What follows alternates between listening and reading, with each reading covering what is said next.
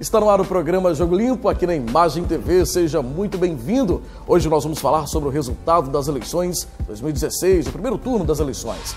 Como ficou o quadro aqui na Grande Vitória, né? os municípios que já tiveram prefeitos eleitos e também os municípios que vão para o segundo turno. E também os municípios que são atendidos pela RCA, Colatina Linhares, Guarapari e São Mateus. Não sai daí, o programa Jogo Limpo já está no ar.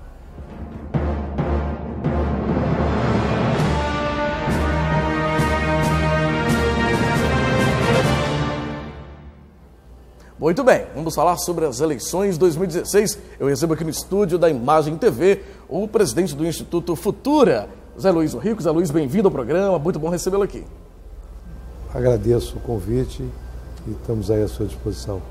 E também o jornalista, publicitário, especialista em marketing político, Ronaldo Cassundé. Ronaldo, bem-vindo ao programa. Muito obrigado. É um prazer estar aqui e poder conversar com a audiência de vocês. Prazer é nosso. Né? Nós tivemos uma eleição, eh, essa eleição né, que a gente acaba de acompanhar, é, bem diferente das outras. Né? Antes até a gente falar dos resultados, a gente tem aqui os números de Vitória, Vila Velha, é, Guara... Cariacica, Serra, Guarapari, Linhares, São Mateus, Colatina, enfim, os municípios, os principais municípios do Espírito Santo, né, um dos principais municípios do Espírito Santo. Foi uma eleição sem dinheiro, né? essa mudança já na legislação aí, Será que mudou a regra do jogo de verdade? Né? A gente viu pouca coisa na rua. Foi assim que você acompanhou? É, foi uma eleição de, de pouco dinheiro, né? Uma eleição que as pessoas tiveram que ter um pouco mais de criatividade. E foi uma eleição, teoricamente, muito fria. Né? É, inclusive, foi uma eleição que quebrou a tese de muitos cientistas políticos aí. Que as pessoas diziam que seria uma eleição que facilitaria quem já estava no poder. E se a gente pegar só as câmaras de Vitória e Vila Velha, a gente vê que houve uma mudança como nunca tinha havido. Né? Na Câmara de Vitória, 67% da Câmara é nova. Então é, um, é, um, é uma eleição diferente. Foi bem diferente. Foi bem diferente e acho que é uma eleição que o eleitor teve mais tempo para pensar e menos pressão na sua cabeça de muita publicidade. Acho que foi um.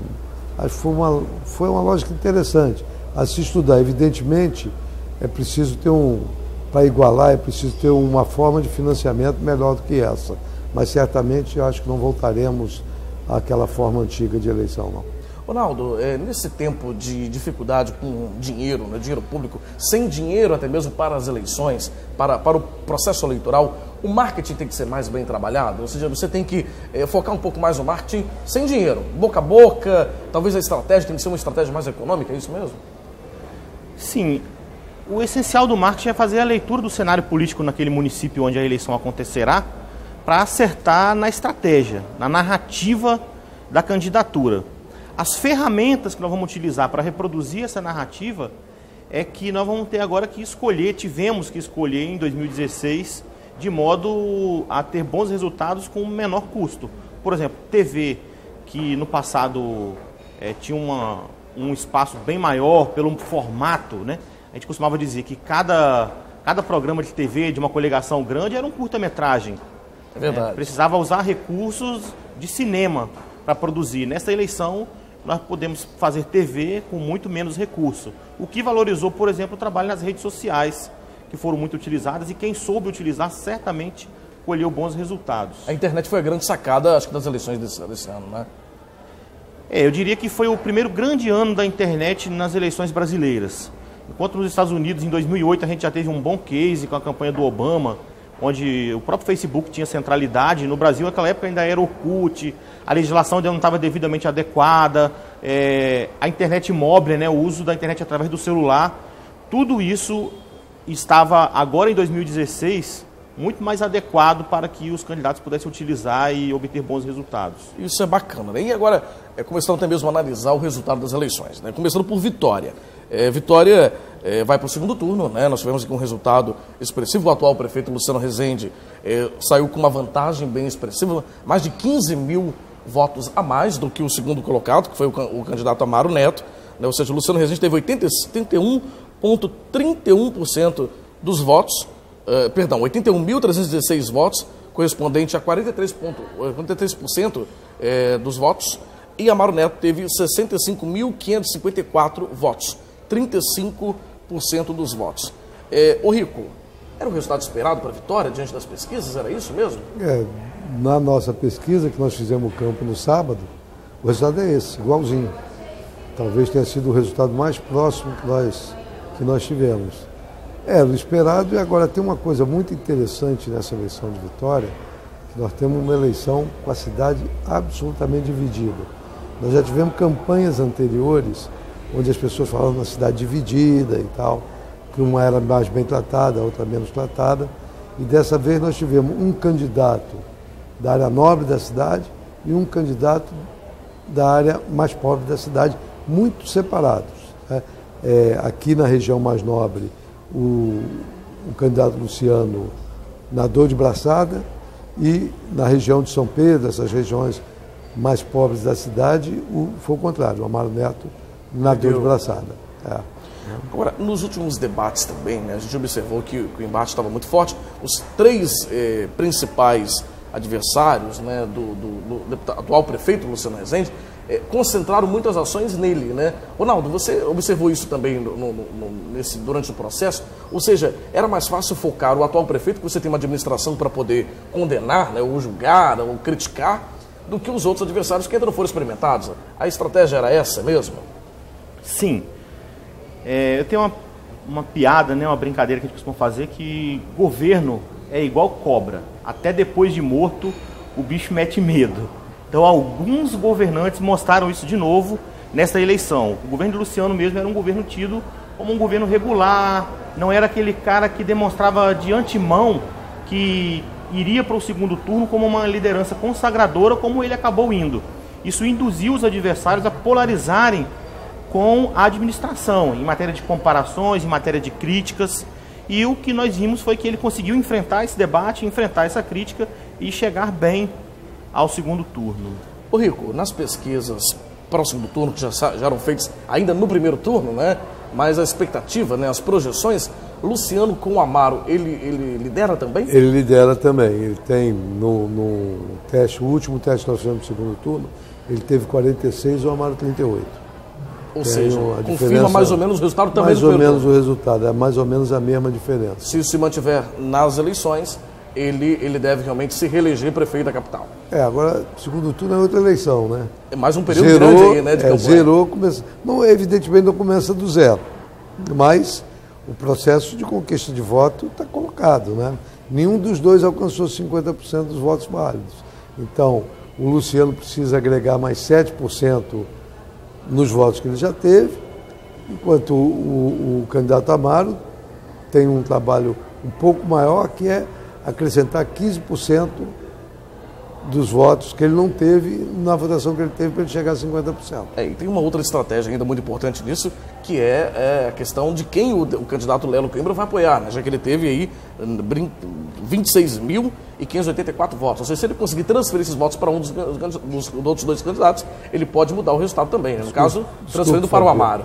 Eu acho que o candidato que perde não consegue transferir os é votos difícil, que ele teve. Né? Na verdade, nós, nós é, a nossa democracia amadureceu bem. Eu acho que o, o, o, eleitor, ele não vai, ele pode até, é mais um argumento para ele raciocinar como vai fazer o voto dele, mas não acho que seja um argumento definitivo, não. Muito bem, continue aqui com a gente, a gente vai para um rápido intervalo e já volta, não sai daí não.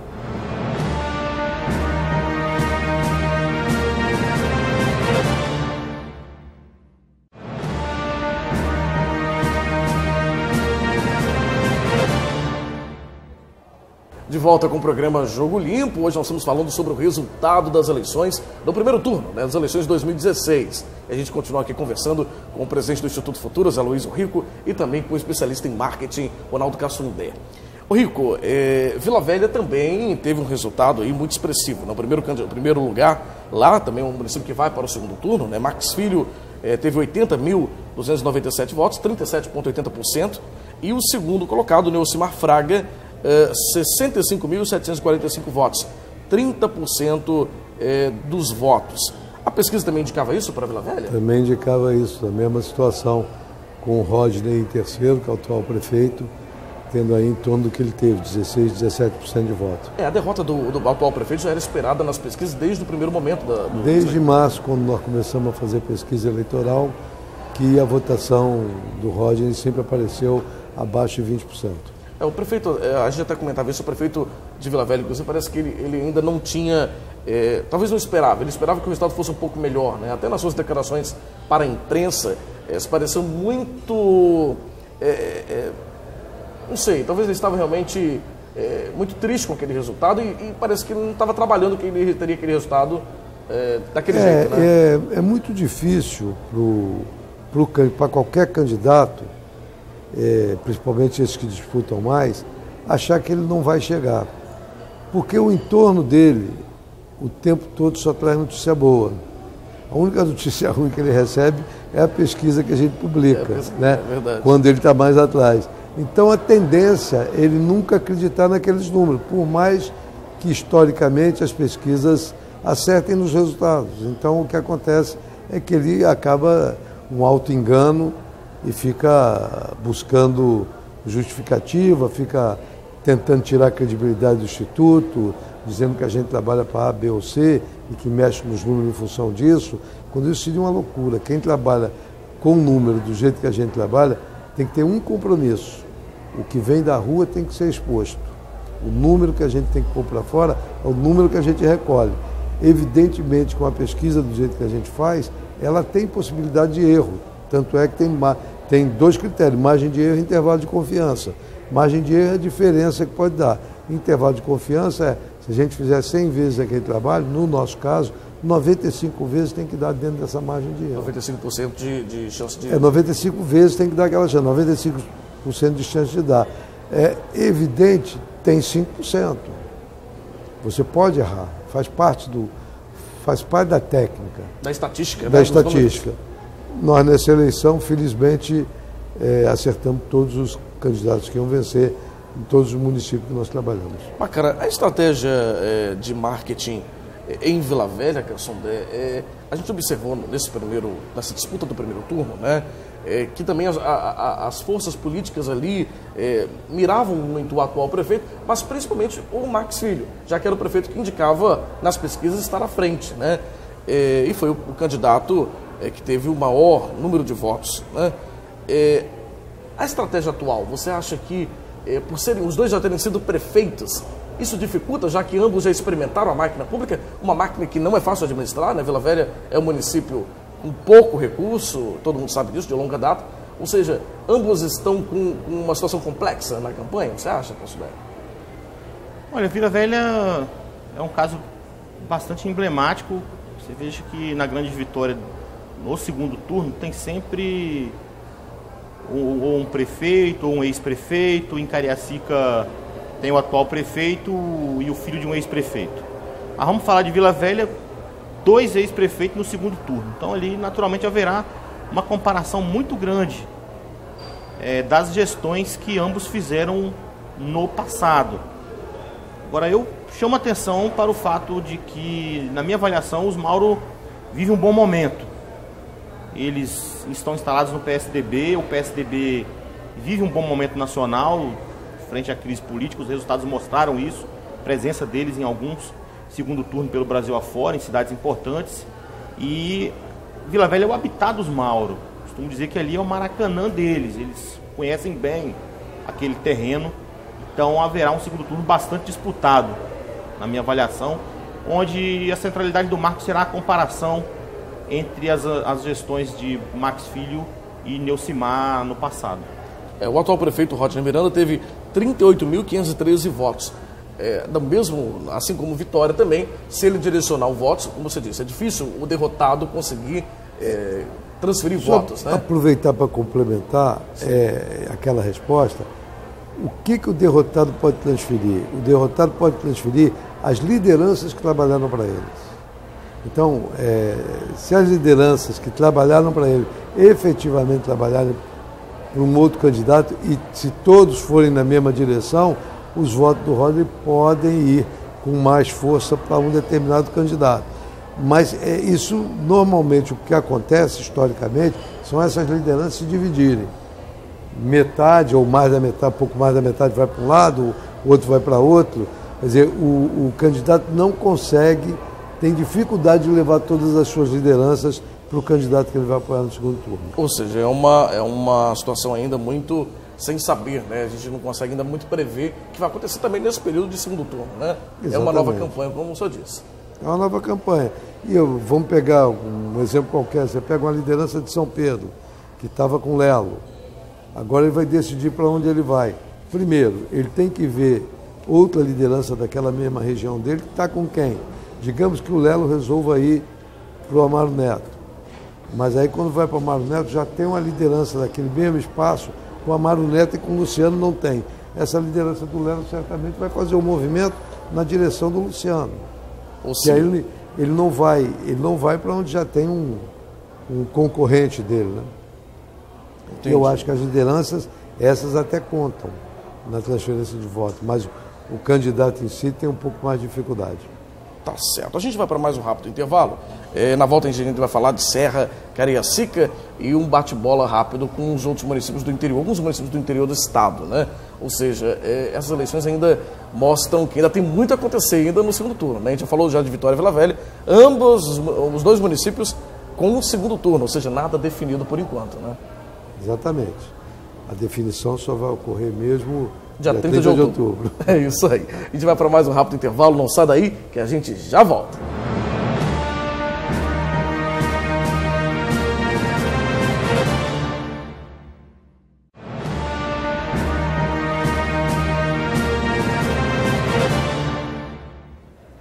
Nós estamos de volta com o programa Jogo Limpo aqui na Imagem TV, hoje comentando o resultado do primeiro turno das eleições 2016. É, falando agora um pouco sobre Serra, né? Serra também vai para o segundo turno, aí uma, na verdade uma dobradinha que já é conhecida pela população da Serra, né? Sérgio Vidigal versus Aldifas, o atual prefeito. Sérgio Vidigal saiu na frente nesse primeiro turno com 107.031 votos, 48% dos votos do município, e Aldifas com 96.862 votos. Ou seja, uma diferença aí também pouco mais de 10 mil votos. O Rico, isso também já estava previsto? Estava previsto também, os números são muito próximos dos números que nós tínhamos identificado. E aí tem uma novidade, é a primeira vez que tem dois turnos na Serra. Primeira vez com dois turnos, Dois né? turnos na Serra. Em 2000, o, o Vidigal foi reeleito.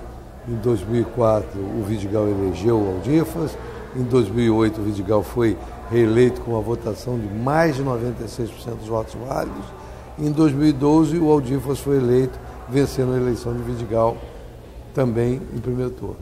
Cassuda, o fato de, do atual prefeito Aldifas né, ter passado por alguns problemas de saúde recentemente, né, e, e, e até mesmo acaba influenciando, querendo ou não, né, na campanha política. Você acha que isso enfraqueceu ele por não ter podido participar tão, tão efetivamente no primeiro turno?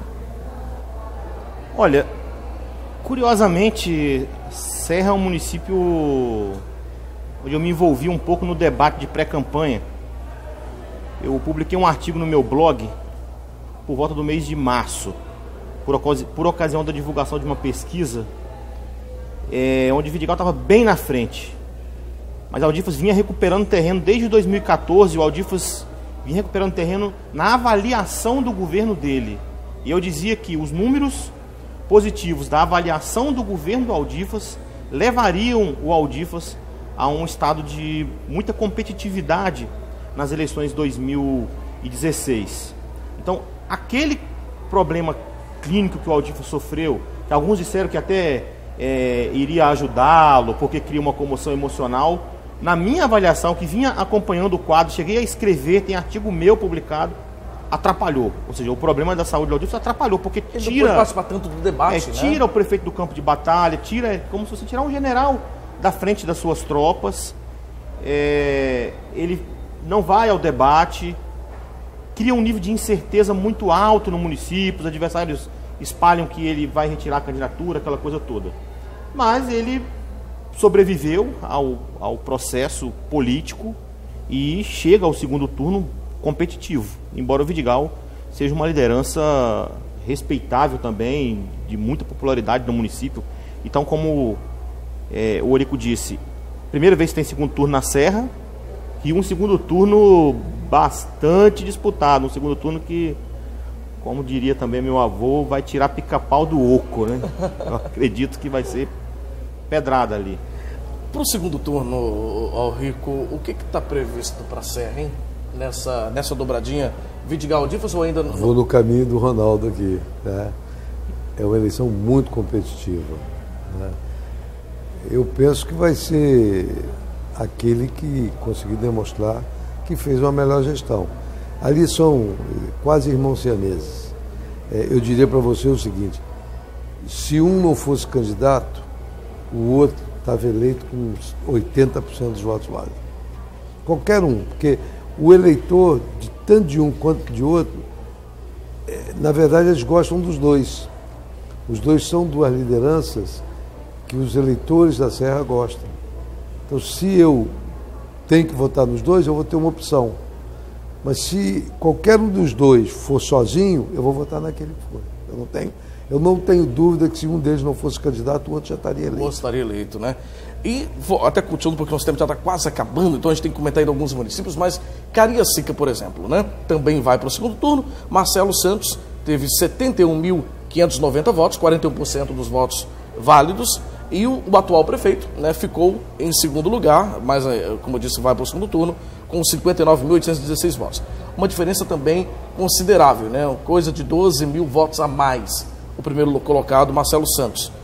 Estava previsto isso também na pesquisa? Também estava previsto. Pois nós chegamos exatamente a esses números e, e lá em Cariacica, até acho que o segundo turno, é mais uma nova eleição do que nos outros, porque o, a, lá tem maior volatilidade os votos. As pessoas é, trocam com, com a frequência que. Muito grande, né? Muito grande. Dependendo da campanha, a campanha que for melhor, é, você consegue capturar os votos. Cariacica, parecido com Vila Velha, é um município com muito pouco dinheiro e que não tem prefeito que entre e consiga fazer uma gestão estupenda. Pode é até fazer uma, uma gestão razoável, como o Helder fez quando foi prefeito lá. Mas o cara fazer uma gestão que garanta que ele vai ser reeleito não é fácil. É complicado, né? Com pouco dinheiro, com pouco recurso, é, né? Com muito pouco recurso. E seguindo aqui, que até para o nosso tempo também está terminando, Guarapari. Guarapari é, elegeu né, o prefeito Edson Magalhães, o atual deputado, agora é, a partir de janeiro prefeito, né, ele teve 27.926 votos, 44% das intenções. O segundo colocado foi o Carlos Von, né, ele teve 27.772, ou seja, bem apertado ali. 159 votos de diferença. Quase muda em cima da hora ali, né? O resultado, né? 159 votos de diferença, se 80 eleitores trocasse o voto, o outro ganhava. O outro ganhava. É, é uma eleição. Seguinte, é, ainda bem que não tem empate. Na pesquisa é empate, é empate literal. Né? Aí se empatasse, aí iria também para o segundo turno, né? Não, lá não tem segundo turno. Lá não iria para o segundo turno? Lá não tem segundo turno. Só os quatro municípios da Grande Vitória que tem segundo turno. Somente os grandes Porque eles têm mais de 200 mil eleitores. Por conta da regra dos 200 é. mil eleitores. É, até seguindo aqui, ó, Linhares. Linhares também elegeu com uma vasta diferença, uma diferença bem expressiva, Guerino Zanon, também atual deputado estadual, teve 59.147 votos, 73% dos votos válidos do município. Foi uma lavada aí também. e dentro do previsto. É, o município, na, em 2012, elegeu Nozinho Correia. Nozinho Correia contra Guerino. Nozinho Correia foi muito mal. Guerino se apropriou dos votos e teve essa eleição. Não teve concorrente, praticamente. Né? Foi uma eleição que ele nadou, nadou de braçada sozinho. Né? Nadou de braçada, né? E, e conseguiu chegar ao pódio. Né? E, Colatina. Colatina elegeu Sérgio Meneghelli, né, do PMDB, com 16.689 votos. 30% das intenções, é, perdão, dos votos válidos. Previsível também? também Colatina estava bem disputado também, bem dividido. É bem disputado. Quatro candidatos lá estavam disputando com chance de ganhar. E o Sérgio, no final, teve um crescimento um pouco maior que os outros e venceu a eleição. São Mateus, é, o vencedor foi o Daniel da Açaí. Né? Ele teve 30.780 votos, 55% dos votos válidos no município. Né? O segundo colocado teve 14 mil votos, uma diferença, ele teve quase o dobro do segundo colocado. Também. Ah, isso aí é o resultado da água. Da água, ele né? tem uma empresa de água e há muito tempo, mesmo antes do período eleitoral, há muito tempo, porque lá, não sei se você sabe, a água em São Mateus é salobra. Uhum. As pessoas não conseguem beber. Então, é, o mar invadiu lá o, rio, é, né? O mar invadiu o rio. Literalmente. Então, na verdade, ele com uma companhia de água, ele distribui água pelo município, acabou, não tem outra razão, não sei se você tem, tem alguma informação. Não, eu concordo, aquele é um município que a gente acompanha de perto, já tive trabalhos por lá, e o fator crise hídrica, esse fator seca, teve grande incidência no resultado eleitoral, diante dessa condição do Daniel, de ser proprietário de uma empresa de água e de que há anos vem ajudando a socorrer ali a população, distribuir água, carros pipos que levou Acaba sendo aquele velho assistencialismo né, na política que acaba ajudando ou não, né? Ajuda. Exatamente. Ajuda, é. claro que ajuda. É, isso gerou até polêmica lá, a interferência do Ministério Público, enfim, mas o resultado da eleição está aí. Tá certo. Olha, gente, infelizmente o nosso tempo está acabando. Eu brincava que a gente teria que ter mais de uma hora para conversar sobre o resultado do, do, estado todo. Né? E a gente falou só aqui dos municípios da grande vitória, nem, nem comentamos Viana. Viana elegeu também Gilson Daniel, elegeu era previsível Gilson. também. É, aí é como diz o Ronaldo, quer dizer, o cara fez uma boa gestão, aí é imbatível. É o que eu sempre digo, o melhor marketing para quem vai disputar uma reeleição é a sua gestão. Fazer um é. bom governo é o melhor marketing para daqui a quatro anos. Tá certo, gente. Olha, o nosso tempo já acabou. Quero agradecer muito ao presidente do Instituto Futuro, Zé Luiz Rico. Obrigado, Rico, por estar aqui conosco. Estamos sempre à sua disposição. Muito obrigado. Obrigado também ao Ronaldo Cassundé, jornalista, colega jornalista, publicitário, também especialista em marketing. Obrigado, Cassundé. Muito obrigado pela oportunidade de estar aqui com vocês. Obrigado. E a gente encerra aqui o programa Jogo Limbo de hoje, agradecendo a sua audiência, a sua companhia, viu? Obrigado por você estar conosco, ligadinho aqui na Imagem TV. Lembrando que o nosso programa inédito é exibido todas as quartas-feiras, às sete e meia da noite, com duas reprises diárias, às onze e meia da manhã e sete e meia da noite. Você pode assistir na TV a cabo ou também pela internet. O endereço é imagem.tv.br barra ao vivo. Agradecendo também ao Hotel Comfort Suites Vitória, que fica aqui na Praia do Canto, que sempre nos acolhe com muito carinho, nos recebe aqui para a gravação do programa, viu? Mande também sua sugestão de pauta para gente. O e-mail é contato arroba fabianorossi.com.br. O programa de hoje falou sobre o resultado do primeiro urno das eleições 2016. Obrigado pela sua companhia. Até semana que vem. Tchau, tchau.